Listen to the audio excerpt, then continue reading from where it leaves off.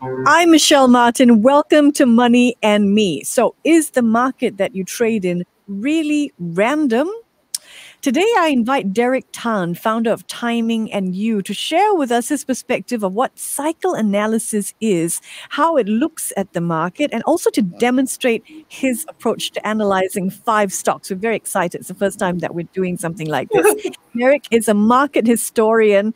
He says he's an old school market technician and fundamental anal- analyst who closely studies how markets work, how asset classes work. And he shares his knowledge in training to people so that we can all use historical patterns and market seasonality to be able to identify for ourselves trading and investment opportunities. Derick's site has more than 5,000 members and clients across Singapore, Vietnam, Myanmar, Malaysia, and even China. And today he's going to be looking at the charts of five stocks live with me on the show. We're going to have them up on YouTube as well in a video format so that you can see the charts for yourself. Look at the features of the technical charts that Derick will be looking at today. And we're also going to feature some of your most requested stocks that we analyze as well. We mentioned we're giving away Derick's book. Uh, it costs 28 US dollars. I'll, I'll, get Derick to tell us what his book is about in a while. First up, welcome, Derick Tan. Good morning. Uh, good morning, Michelle. Thank you for invite me, uh, inviting me up again. It's really a pleasure to uh, uh speak to you again, as well as the yeah. audience of uh, Money FM. All right. It is great to have you on. I remember the last time you did an event with us, there were so many questions that oh, came oh, yeah. your way, Derick. You are a fount of great information. So, first up, we're giving away seven copies of your yes. book. We've been asking listeners to send us which stocks they would most like to see uh, to see and hear you analyze today. And I wonder if you can tell us a little of what your book looks at. Okay. Uh probably allow me to share my uh, uh, slides. How about that? Okay, sure. Okay, so share screen.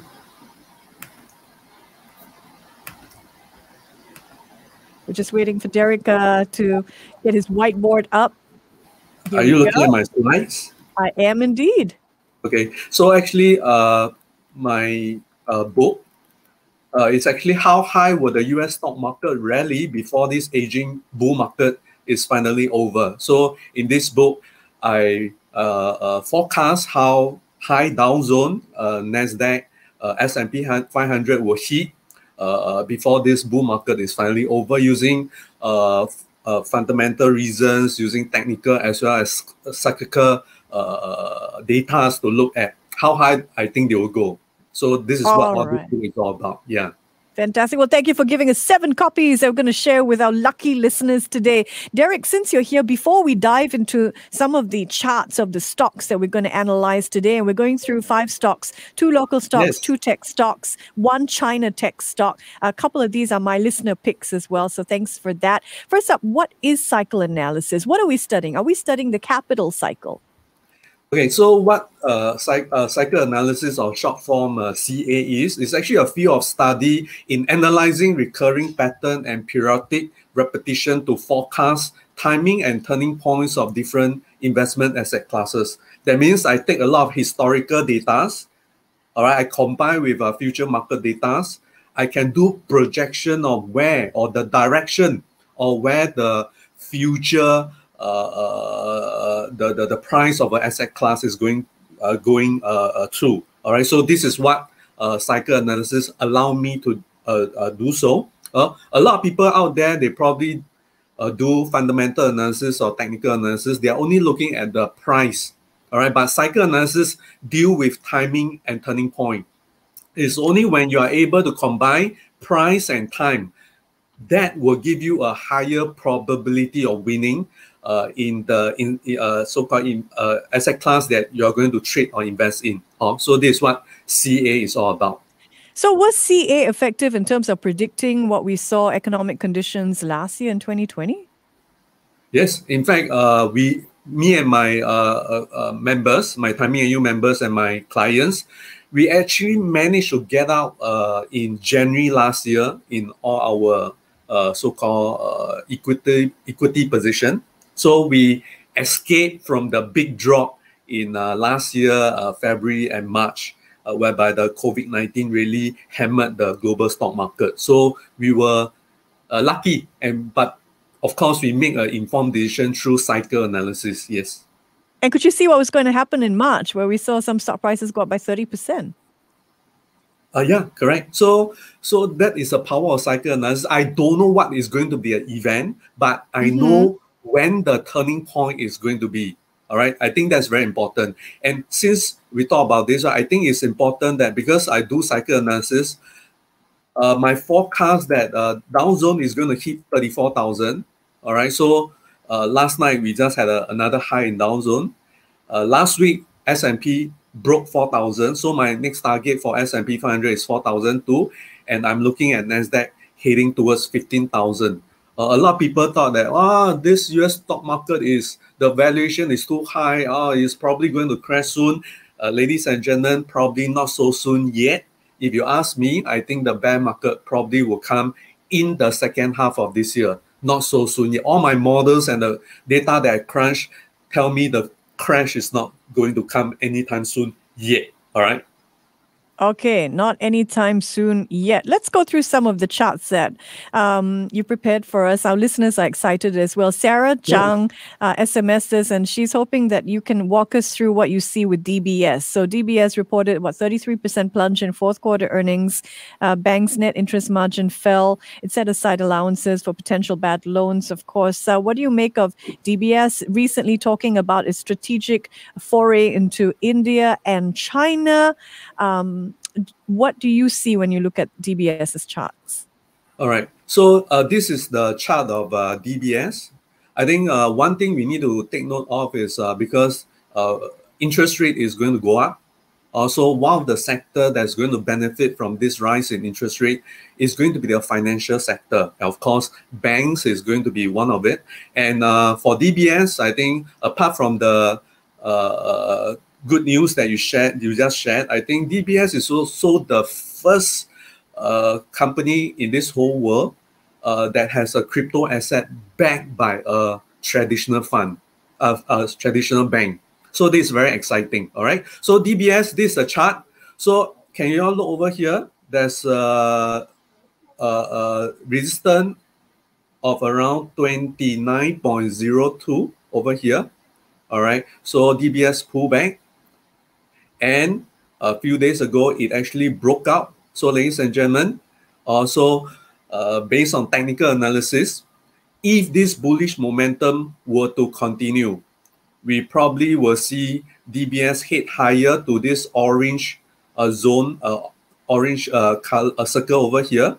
That is about 30.36. All right, that will be the next resistance, 30.36. So if you look at a longer term for DBS in terms of charting, so the previous chart, uh, the previous charts of this, we were here, or uh, we were here. So this is the orange uh, circle. So if DBS can break above this uh, 30.36 uh, resistance, uh, it will have potential to go higher to hit the historical high over here. All right, the yellow, yellow circle over here, which is about 30.78. All right. How many years ago was that? That was is that time uh, period for that? That was in 2019 April.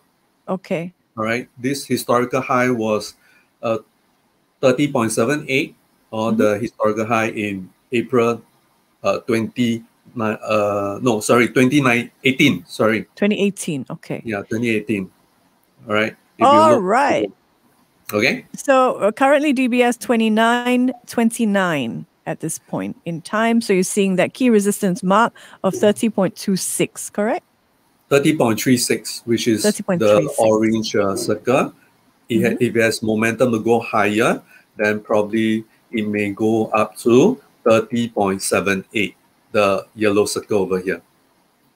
Okay. All right, Derick, that was that's great. Shall we move on to the next chart? Uh, also, yes. I believe our listener wanted to hear. June Lee wanted to uh, was hoping that you could share with us what you see when it comes to Facebook. We'll discuss that in a while, but I think we have Google next. Am I right? Uh, yeah, correct. So let's take a look at Facebook. Uh, in fact, We last night, uh, Facebook. okay, go ahead. yeah, uh, Google. We'll look at Google first, right? yeah, okay, Google. Okay. So anyway, uh, both uh, last night, both Google and uh, uh, Facebook has uh, broke out. La- last night was a good night for both of them. So now this is the chart of Google. As we can see, this uh, for the last ten year chart, Google is in a very very nice uptrend. All right. Wow. So ladies and gentlemen, we are really at the tail end of this U.S. bull market. Uh, this US bull market has been rallying from the last 12 years since 2009 March. Wow, look, just look at the chart of uh, Google. Is this is a stock that we want to own. All right. That is a beautiful chart. Look at that increase and that incline so steep. Oh, okay. So so that's a long-term chart. So let's look at the near, uh, shorter-term chart with this. All right. mm, Uh, so this is Google. As we can see, there's a resistance here, over here. Look at my cursor here. This Yep. is about 2145.14. So, so as we can see, last night it had it, it broke up so strongly with uh, increased volume. Also, this is actually a very good sign. All right. So uh, not only that, look at the force index, which is an indicator that combine price with volume. Look how it has increased from uh, zero, it spikes up. So this is a actually a very good sign over here. All right. So this breakout, uh, uh, in fact, this is what I call is it probably form a chart pattern called something like a what we call a rectangle or a flat base. So this with this uh, broke out, potentially how high it can go is we can take the depth of this rectangle or base flat. How do we measure the depth? So the resistance here is 2145.14. The low here, the blue line over here is 199, a eh, 1990.23. So how do we find the depth is we take 2145.14 minus 1990.23 the depth, we add on to the the resistance level here, which is 2145.14. So potentially, potentially, we may be looking at Google heading on to a 2300 level. All right, if this uh, chart pattern were to play out. All right. So even if you look at the moving average, the this green color line here, which is a 20-day moving average, the blue color line here is a 50-day moving average. The 200-day uh, moving average, th- this red line over here, all of them are turning up. So all of them is suggesting that hey, this bullish, there's this bullishness in Google, and with this breakout last night, it confirmed uh, uh, uh, this uh, bullishness. And uh, if this momentum were to continue, we probably will see Google heads towards 2003. Uh, very exciting for right now Google. it's two, about 2218, right? yes, correct, Mm. correct. So even though we've seen sort of investors look away from tech shares because of fears of inflation and uh, you know treasury bonds, you still see momentum. Yes, upwards. it's all shown in the chart itself. All right. Yeah, patience, my listeners. I know you know it's a little hard for you to follow us because we're looking at these beautiful charts, but you will too in time. We'll post this video on Facebook so you can have a close look at all these orange points and uh, chart Yeah. bases that Derick is talking about. Derick Tan is my guest today. He is founder of Timing and You, and we're looking through. Uh, Five stock charts to understand how someone with a background in cycle analysis really looks at stocks. All right, so let's take a look now at Facebook. I believe uh, listener June Lee was hoping you'd pull up Facebook charts. We know that Sure. Facebook has uh, 500 million Facebook users. They always say you should invest in what you know. I think everybody uses Facebook.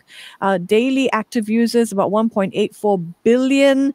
Um, incredible numbers. Capital expenditures amazing as well 4.82 billion um, for the principal payments capital expenditures including principal payments so how do we make sense of all this information what are you seeing on your charts All right. So for Facebook, this is a long-term uh, chart of Facebook. Very nice as well. Since its uh, IPO uh, in 2012, it has been going up along the way. I mean, along the way there was some correction, consolidation, but it's also at a all-time high. And the important thing is, ladies and gentlemen, last night, Also, uh, Facebook three point four three percent, right? Yeah. Yes, it has a broke. It, it broke up last night as well. All right. So if you understand about uh, chart pattern uh, in Facebook, it actually uh, last night it has actually completed what we call a cup with handle. So this is a chart pattern, a very profitable chart pattern. is called a cup with handle. Uh, you, you guys got to be a bit uh, imaginative uh, to have a bit of imagination. It's just how you look at the cross-sectional view of a cup. Mm-hmm.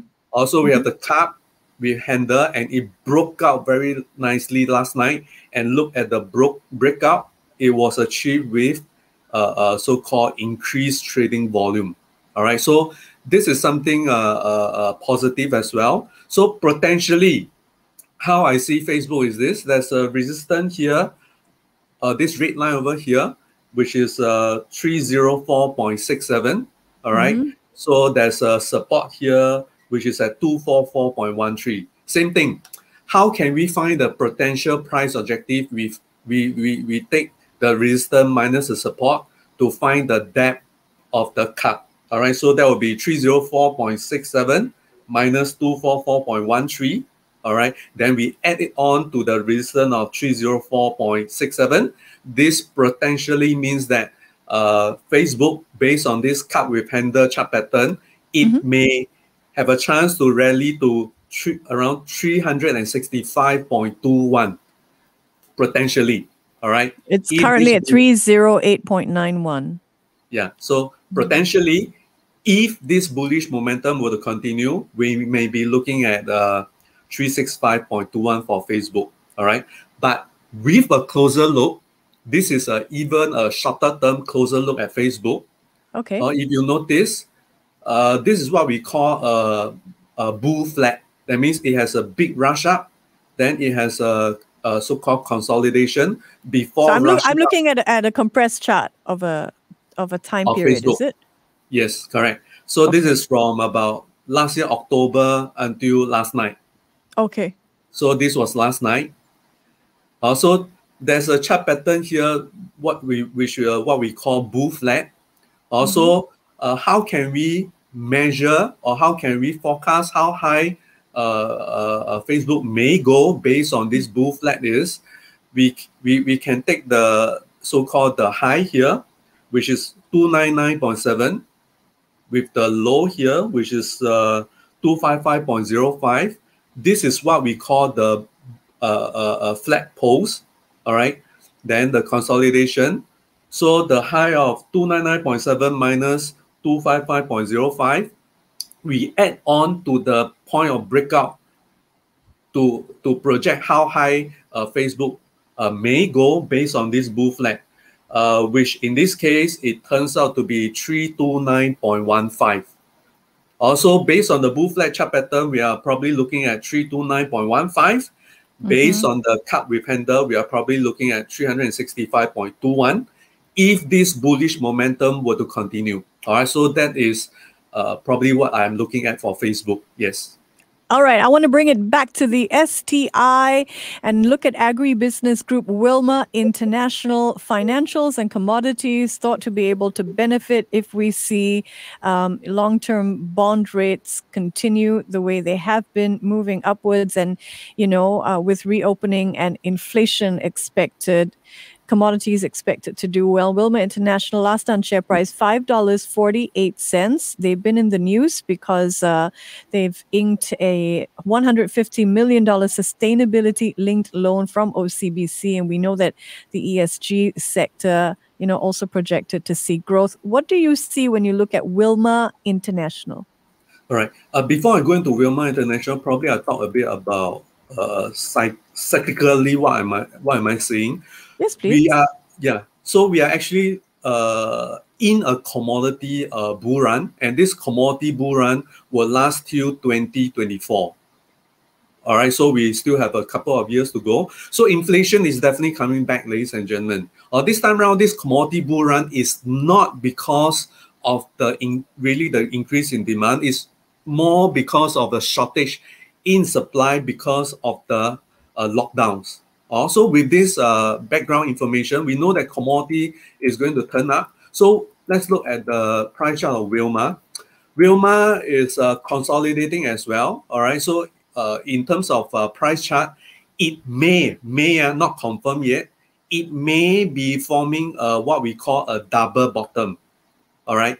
So the thing is, if Wilmar can break above this uh, red horizontal resistance line, which is where the red circle is, that is about 5.64. All right. If Wilmar would later on, if we can break up above 5.64, potentially how high we can see uh, Wilmar will go is same thing. We use the depth of the possible uh, uh, double bottom.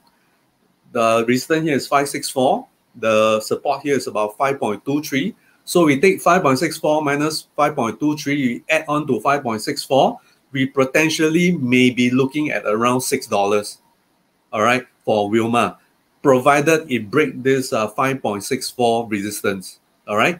So we take one step back, all right? So this is a longer term view for Wilma, or Wilmar. Mm -hmm. uh, over here, all right, is where I show this, this possible double bottom. Also, if we were to see uh, uh, Wilmar uh, break up from a possible double bottom, Wilmar may have a chance to hit higher uh, to this uh, so-called uh, red, uh, orange circle resistance over here, which is uh, around $6 as well. All right. Same like what I forecasted based on the uh, double bottom uh, price objective. So we are looking at around 6 to 605. All right. Then something very interesting uh, I can share you guys is this. Uh, I have uh, my own proprietary uh, DT7 golden numbers, a series of golden number. Uh, one of it is uh, 3.5. All right. So I discovered this uh, accidentally. I realized that uh, the first wave structure of a rebound will actually decide how high the price may go. Uh, I may not have the time to go through today, but is this for commodities? Is this, this just for Wilmar, or what is oh, what no, these numbers it's, refer it's to? for uh, uh, any any asset classes. It can be for stocks, it can for commodity, it can be for uh, bonds, it can be for currencies. All right. So it is a way for us to determine when may be the next resistance. Also, how I measure this is this. We can see that there's a drop in the price of Wilmar. Then it went up. It has a pullback. Then it goes up again. So this is what we call a successful follow through. But how can we project how high the price will go is this. We take uh, B minus A, which is 3.59 minus 2.83 then we multiply with my golden number of 3.5, my DT7 golden number of 3.5. Then we uh, add on to this C, which is 3.25. So what we get is about 590, around $6 as well. So be, be it is a double uh, potential double bottom, uh, be it the resistance over here, be it mm-hmm. using my golden number of uh, 3.5, we probably mm-hmm. are looking at around $6 for Wilmar. If, uh, if, if uh, very important, uh, if it can break out from this resistance of 5.65 at 5.64, where the red circle is. All right. This okay. is very important to take note. All right. Okay, well, thanks for sharing that. You have to look at these charts. We'll make sure that we get them up for you. Uh, yes. Check them out on our YouTube channel so that you can watch Derick Tan, founder of Timing, and you pretty much, um, you know, describe what he's seeing at the same time. Nothing like visuals as well. Now, I wanted to take a look at a Chinese tech stock, and we decided it would be interesting to look at Xiaomi, the Chinese smartphone maker. Xiaomi has flagged rising costs from a global chip shortage that's been hogging a lot of news headlines the global chip shortage how that's going to affect uh, a range of businesses manufacturing cars. So Xiaomi reported quarterly revenue below market estimates. Its international business had jumped ship even to TikTok owner ByteDance. Let's look at how Xiaomi is done, up 2.72% overnight to 26.45 Hong Kong dollars. Uh, this is on the Hong Kong exchange. What are you seeing uh, on Xiaomi's chart? All right. So Xiaomi is a very interesting stock. So a few days ago, uh, their founder uh, just announced a change in their logo from a square to a round shape. All right. So uh, be, uh, with that, they are announcing that they are going into EV, electric vehicle. So yep. uh, for the next uh, probably decade, they are they will be uh, venturing into EV. All right. So this is uh, Xiaomi. Uh, uh, since it uh, IPO, uh, it was in uh, 2018 around July. So it has went up as we can see. Uh, but at the same time, uh, uh, since early this year, it has went through a so-called correction, and it somehow seems to find support at this blue horizontal support line here, as well as its 200-day moving average. Also, this is a long-term view of Xiaomi. Let's look at a shorter-term view. All right, so uh, so like what, what I mentioned, Xiaomi has uh, corrected, found support at the blue horizontal support as well as the 200-day moving average. It went mm-hmm. up, it came down, found support at the 200-day moving average again. So right now, it is over here uh, as of yesterday. Uh, yes, as of yesterday. So now the resistance uh, over here is around 27.35 Hong Kong dollar. All right. If if Xiaomi can break above 27.35, mm-hmm. all right, do take note, uh, there's Xiaomi's uh, 50-day moving average is also here. So there's actually a double resistance here of this horizontal. When you say here, what is that level? Just for our listeners. 27.35. 27.3, okay. So we have a double resistance of uh, the red horizontal resistance as well as uh, 50-day moving average at around 27.35. So if Xiaomi is able to break up above this resistance, potentially it may rally to this orange circle over here, which is around 31.38. All right. So that could be a possible next resistance. If it can take out this resistance, we probably may see Xiaomi hit back higher, uh, hit back to its uh, early this year high of 35.91 or 35.91. So this is a good level to wash out 27.35. Taken out, uh, Xiaomi potentially can go up to 31.38. If this is taken out as well, we may see Xiaomi head back to the uh, this year uh, uh, early this year high of 35.91. All right. So we are the critical uh, area for Xiaomi actually. All right. All right, five stock charts analyzed live with Derick Tan. He's a market historian, old school market technician, fundamental analysis analyst, and so generous to join us, founder of Timing and You. Derick, great speaking with you. Great looking at your charts. I think our listeners are going to pour over them, uh, you know, when they can't see them on YouTube. Thank you for joining yes. us. Thank you very much, Michelle. Great speaking right. with you as always. And thank you all for listening to us here on Money and Me. Before acting on the information on Money FM, please consider if it's suitable for your own investment objectives, financial situation, and risk tolerance.